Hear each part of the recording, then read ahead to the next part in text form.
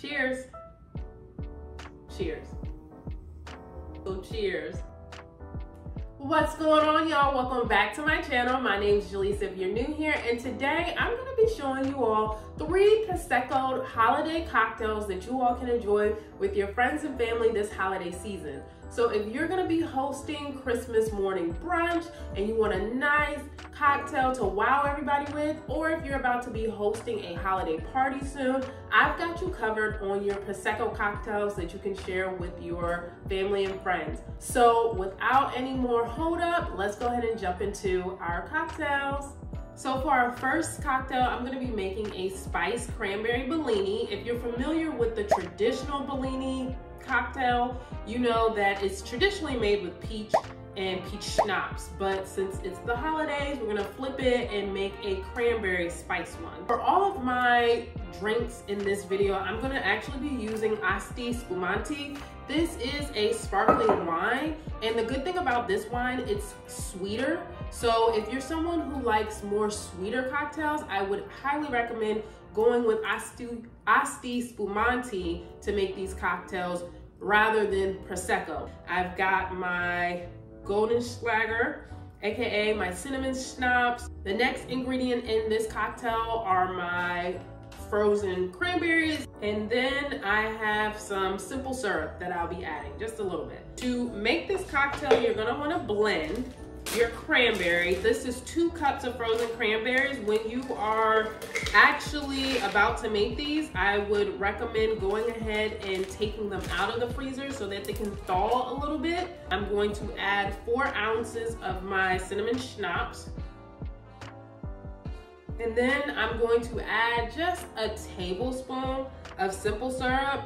The reason why I'm adding that is because these are like real raw cranberries. They can be on the bitter side, so I wanna make sure there's a little bit of sweetness to this cocktail. Once I have everything in the blender, I'm going to, of course, blend it. Y'all, I completely had a brain fart, y'all. I added only one ounce of freaking cinnamon schnapps. It needs four. So we're rewinding right now whatever that rewind noise is, and I'm gonna add the other ounces of cinnamon schnapps.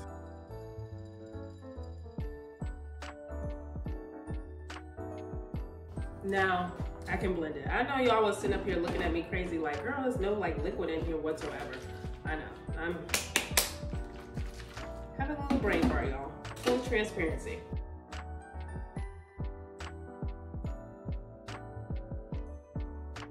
So I did want to taste my mixture before I assemble the final drink.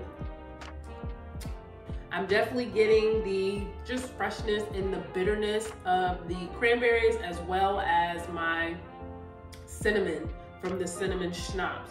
I'm only going to fill up my glass about a fourth of the way with my blended cranberries.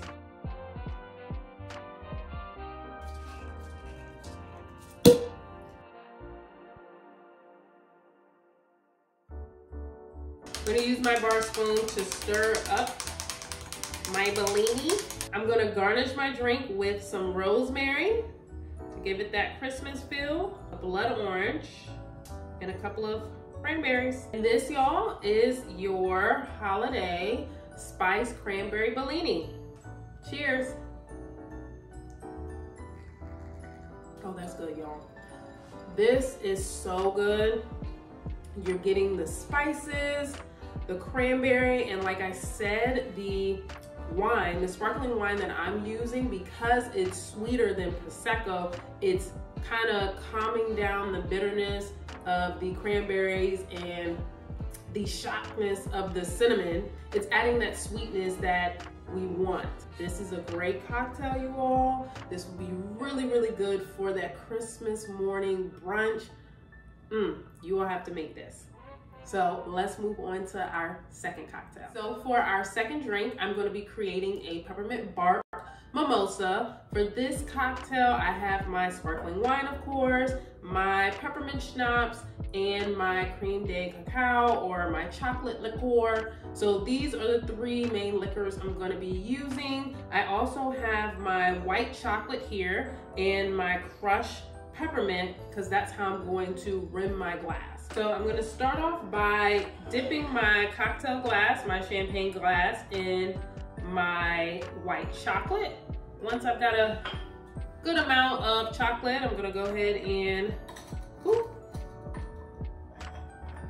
and then I would recommend, you know, moving it around a little bit so you get a good amount of your peppermint on the rim.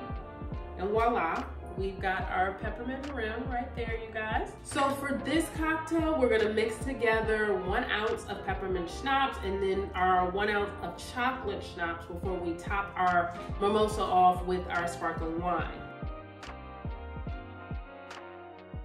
So now that we have our two liqueurs together, we're gonna go ahead and mix everything together.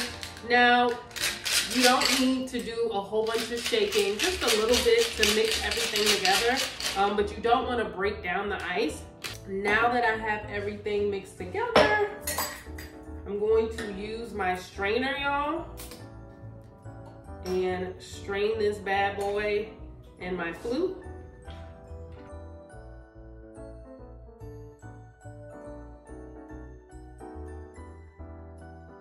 And of course, I'm going to garnish my cocktail with a candy cane, y'all.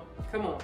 We can't do a peppermint mimosa without a candy cane. Now, as you can see, my cocktail is giving milk chocolate vibes, y'all. I went to the liquor store and the white chocolate liquor was in my face, but my crazy behind was like, oh no, I want like actual chocolate liqueur. It's giving a milk chocolate peppermint bark, but either way, y'all, get some white chocolate. Learn from my mistakes, but cheers. This cocktail tastes really, really good. Um, and again, it has that perfect balance of the chocolate and the peppermint liqueur and then the white chocolate rim it kind of adds to the sweetness. So this is really a great cocktail if you're gonna be having a holiday party. Um, maybe it's after Christmas while you're enjoying some Christmas desserts. This is a good one to have, but please make sure you get white chocolate liqueur. And this is not just, oh, it's made with white chocolate. No, it's just the liquor is clear and it'll blend together a lot better. So for our last cocktail, I'm going to be making the Santa Baby. I named this cocktail the Santa Baby because it reminds me of the Eartha Kitt song where she's listing all the things she wants, Santa Baby. And I recall in that song, she's listing she wants a baby blue convertible and she wants, you know, decorations from Tiffany. So every time I think about that song, I just think of baby blue, light blue, and here is why the cocktail has gotten his name. You will see, as you can see, we've got our sparkling wine. The main ingredient that's gonna give us our baby blue color, which is our hypnotic, y'all. Our vodka, we've got our pineapple juice, some whipped cream, and some light corn syrup. Now I will say for the whipped cream, to get it in more of a liquid form, you're gonna wanna add just a little bit of water, y'all just eyeball it, um, but you don't need a ton of water. You just do some whipped cream and a couple of splashes of water to kind of get it to that water format. We need our coconut and our sprinkles. So you can either just use coconut or if you're not a coconut fan, you can use some clear, pretty sprinkles. Um, but we're gonna be using this to rim our glass. We're gonna dip our glass in the corn syrup just to get it nice and sticky and round around the rim. And then I'm going to go ahead and dip it in my sprinkle coconut concoction. So we've got our snow for our glass. All right, so let's get to mixing. We're gonna add a ounce of vodka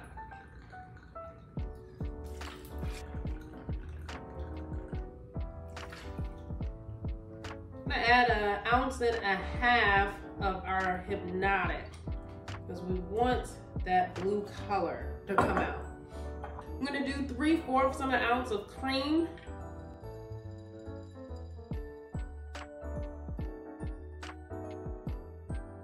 And then we're gonna top this off with pineapple. Not too much because we don't want the yellow to take away from our blue coloring. And then we're gonna shake. Not too much shaking, just enough to mix everything up. So now that we have everything shaken and mixed together, we're gonna pour a, uh, half of our glass. And here you go, we have our Santa baby. It's giving a little like almost Tiffany blue slash like it's knocking on the door of it wants to be green. So you wanna play with the Hypnotic a little bit, but it gives us our blue fill. So cheers. Oh, this is good. Now, while this is supposed to be a Christmas cocktail, it's taking me to the Caribbeans, y'all.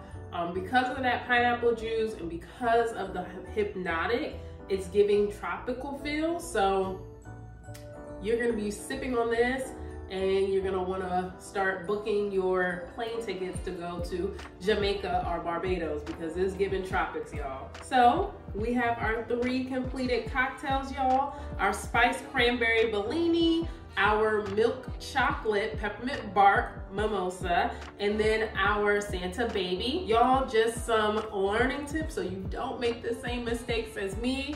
Make sure if you don't want the milk chocolate look and you want more of a clear peppermint look, make sure you get the clear chocolate liqueur from the liquor store or Santa baby play with the pineapple juice. Be mindful that the Hypnotic is gonna give you the blue coloring that you seek, but that yellow from our pineapple juice is going to ruin it. So you can either scale back on the pineapple juice or you can add some food coloring to get more of the blue color that you want. Either way, you're gonna drink it and you're gonna have a good time. It's gonna be a blast in a glass. So if you enjoyed this video, please make sure you like it. Liking this video helps me to grow as a channel. Comment below if you enjoyed this video, y'all. Right now, I'm doing cocktails in the short form, so if you haven't had the opportunity to check out some of my other cocktails I've made on my channel, please go ahead and do so. But I'm thinking about, and I'm probably gonna do more of these long form cocktail making videos in the future. So comment below some cocktails you'd like me to try. Maybe if you want me to do a more traditional cocktail, so our Cosmos or martinis, I can do that. Or if you want me to kind of show you all some different cocktails that are focused more on a style of liquor. So our vodkas, our gins, our whiskeys. Let me know below and I will definitely make sure I create that content. Um, make sure you subscribe to my channel. And as always, I will see you all in the next video.